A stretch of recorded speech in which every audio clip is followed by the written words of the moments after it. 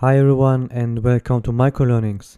During this microlearning we will cover the definition and objects regarding resource management. My name is Ahmed Durmaz. I am an SAP S4HANA Cloud Business Process Consultant with focus on warehouse management. As you can see, we have divided our agenda in this microlearning into three sections. First, I will give a short introduction to resource management in SAP S4HANA Cloud. Second, we will have a look on those most important objects and last but not least, we will discuss the overall concept of resource management. Let's start with the first point on our agenda. Resource management in SAP S4HANA Cloud optimizes warehouse activities and automatically assigns them to employees. In addition, it enables you to manage your warehouse resources such as a user or equipment that executes work in the warehouse. The resource is responsible for the execution of the warehouse processes. With the help of the resource management functionality, you can check the workload and utilization of a dedicated warehouse resource. There is one scope item for resource management. It is important to know that the following scope item is not active by default in SAP S4HANA Cloud System and without activation you will not be able to use resource management. Our next topic is to see which objects are available for resource management. A resource represents an employee or their work equipment in the warehouse, for example a forklift. The resource type is assigned to a resource and is, and is used to make a physical distinction between resources. The resource type is used in warehouse management to combine several resources with the same physical properties. The resource type can contain parameters, for example, which storage bins the resource can access or which handling unit type can be processed.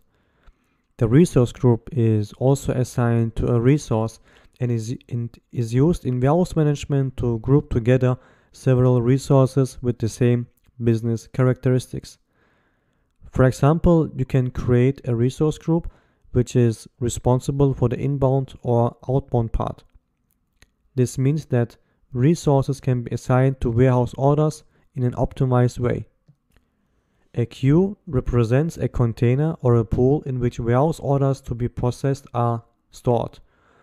Queues are used to better group warehouse orders depending on business requirements. For example, you can create a queue for inbound, outbound, or internal processes. A queue type is assigned to a queue, which can be used in order to distinguish which business process should be affected. For example, if we need to execute a goods receipt process, the queue inbound, which we can define in the system, will be affected. You can also define queue determination criteria for each queue. The warehouse task can be assigned to a queue based on one or more of the following parameters such as, such as like source activity area, destination activity area, bin access type, and warehouse process type. And this is the overall picture of resource management objects. After we have captured the definition and the objects of resource management, now we can have a look on the overall concept. Here you can see an example how you can set up your resource management. We have defined three different queues. Queue inbound for the inbound process, queue internal for the internal processes, such as replenishment activities and queue outbound for the outbound process.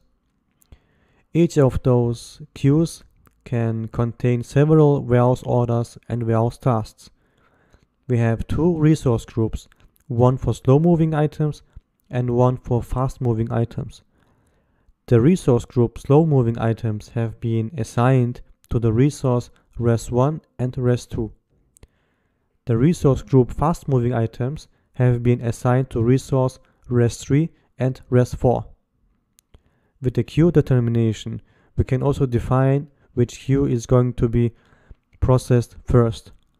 And this is basically the overall concept of resource management. Before ending this microlearning, let's recap what we have covered so far. The definition of resource management is to ensure the optimized execution of warehouse activities. Warehouse management in SAP S4HANA Cloud optimizes work packages and automatically assigns them to employees.